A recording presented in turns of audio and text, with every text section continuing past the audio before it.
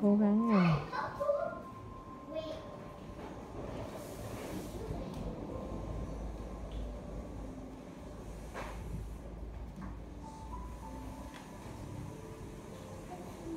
Video nãy quay trán nó đắt quá. Em bị chết.